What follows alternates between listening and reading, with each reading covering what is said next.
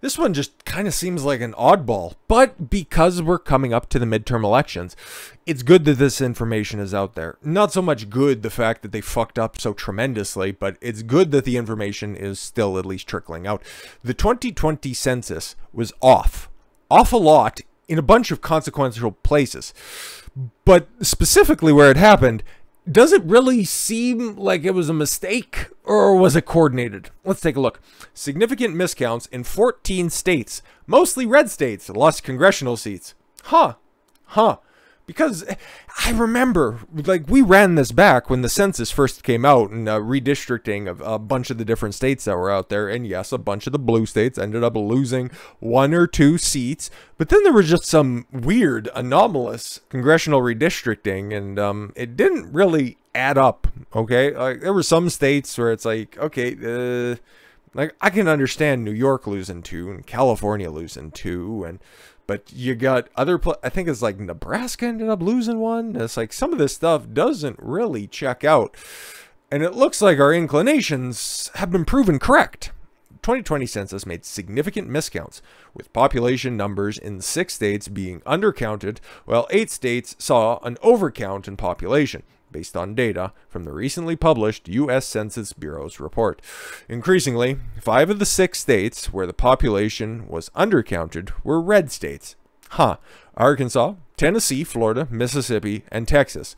The only blue state was Illinois, but then it's Chicago, okay? or maybe the suburbs, okay? The GT See, is that the proper terminology? Between there and the capital. Uh, wonderful, terrific. Of the eight states on the population was overcounted, six were blue states, with the exception being Utah and battleground state Ohio uh, when can we fucking take that off the map okay? It's, it's, they voted for trump at nearly double digit clip okay? But we'll see how it shakes out okay? What happens with uh, the senate election? We'll, we'll see. We'll run it back because right now what is it? They got one democratic senator okay? And then it was rob portman who was retiring. And then is jd vance running for that seat? I know he's running one of them. I'm pretty sure it's for ohio. Anyways getting into the semantics but Ohio's red. Okay, Ohio's Republican. Okay, as long as it's going to remain Trump Republican.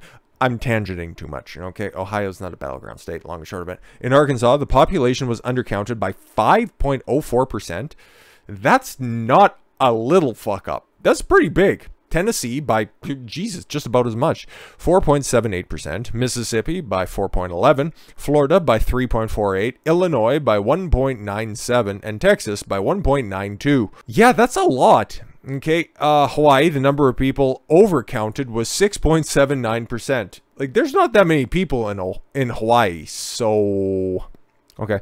Delaware by 5.45%. Yeah, a lot of them were probably too high and just fucked up and couldn't quite remember how many people lived in their house at the time. Rhode Island by 5.05%. Yeah, you can kind of understand that, right? You're not really quite sure which side of the border you live on. It's the size of a fucking tic tac, for Christ's sakes. Minnesota by 3.84%. New York by 3.44%. Utah by 2.59%. Massachusetts by 2.24%. And Ohio by 1.49%. Huh, interesting. For the remaining states and the District of Columbia, the estimated net uh, coverage error rates were significant or we're not significantly different from zero. Yeah, so statistically irrelevant, okay, within the, the margin of errors. Forgot the term, der. But yeah, no, you'd expect that, but not these huge swings, like 5% undercount.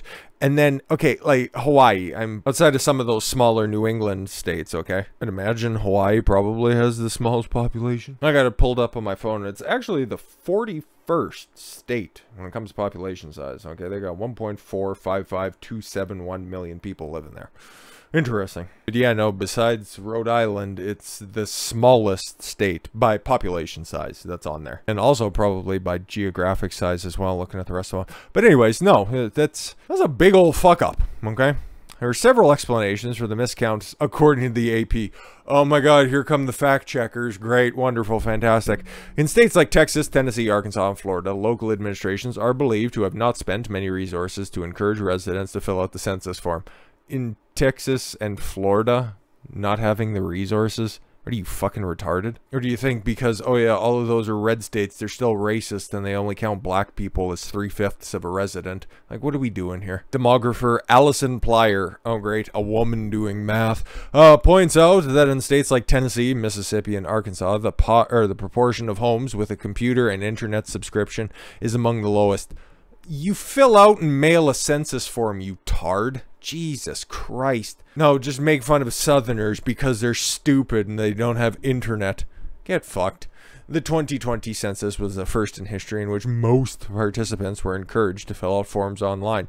Encouraged encouraged. You were probably still sent out a fucking booklet, a fucking printout, okay? I know, even here in Canada, and we're not terribly dissimilar on a bunch of different metrics. Still received a fucking census card at my box, okay? So, note the count efforts can make a big difference even when your community has poor internet access. You know she just wanted to say, even though they're poor and stupid and can't count, internet access and less likely to answer the census, Plyer told the media outlet yeah, that's why they would just, you know, send out, hey, uh, just tell us how many people live there. We don't need to know immigration status. We're not trying to send ICE to your door. But honestly, if that's the case, why not Alabama? Okay, why why was Alabama a statistically inconsequential, a, a neutral party? Okay, Oklahoma. Okay, and why weren't more states in the uh, uh, original colonies over calculating. Okay, why didn't New Jersey overcount? It's uh, practically the same as New York. What's your explanation for that, stupid? States that suffered from undercounting lost potential congressional seats.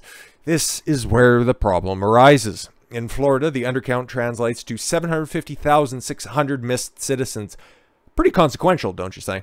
According to an analysis, and that's obviously 750,600 uh, cousin lovers, by election data services, Florida only needed 171,561 more people to get another seat. Similarly, in Texas, where 189,654 more citizens in the census would have helped gain a seat, undercounting led to 560,000 missing residents. Now, they were all too busy out on their cattle farms, or you know what, putting on their Velcro gloves to go hang out with the sheep for a minute. In Minnesota, the overcount resulted in 219,000 additional residents. If the state had 26 fewer people, it would have never won the 300 or the 435th and final congressional seat in the House.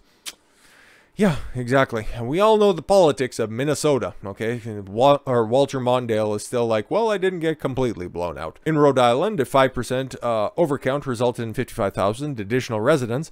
If the state had 19,127 fewer people, one seat would have been lost. Again, again. Now you know why they were playing maybe a little bit too fast and loose with some of the counts. John Marion, executive director of the government watchdog group Common Cause Rhode Island, Island, admitted to AP that his state was lucky a beneficiary of statistical anomaly.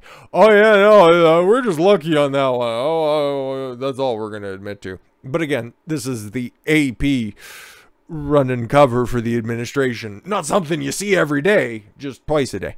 As a result, Rhode Island will have more representation in Congress uh, for a decade.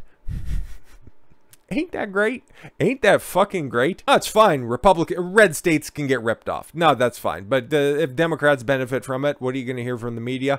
Fucking nothing. Imagine if the roles were reversed. Imagine if these overcounts were just you know displaced onto other states. Okay, imagine if Florida. Okay, oh, in a deep in a deep red portion of Florida, they got an additional seat. What kind of a fucking spurg out you'd be getting right now? But I don't think anybody's taking to the streets right now saying that they're not getting proper representation. It's just, it's, it would be more sad if it could be talked about, if it could be discussed openly on these platforms, like some other documentaries that are released on alternative platforms that uh, may be talking about certain things that uh, happen when you have government documents and uh, certain counting methods that are out there. I think you know what I mean without me directly saying it, but hey, whatever. Let's just wrap this up. Meanwhile, Rhode Island Republican Party National Committee, oh, Steve Frias, slammed the aggressive census counting tactics, warning that the count will undermine people's confidence in the administration. Yeah, that's the one count that'll do it. Okay. Democracy only works if people trust the system. Huh. Where was that fire and fucking fervor beforehand? Oh, now you care about it because it actually directly affects you? Hmm, fucking weird how that shit works, right? But yeah, we'll see if it goes anywhere. Let's see if the Republicans actually take action on this when they take back the House, okay? In November. Oh, but there's some very learned people at MSNBC who think that the Democrats are going to maintain because abortion's such a popular topic.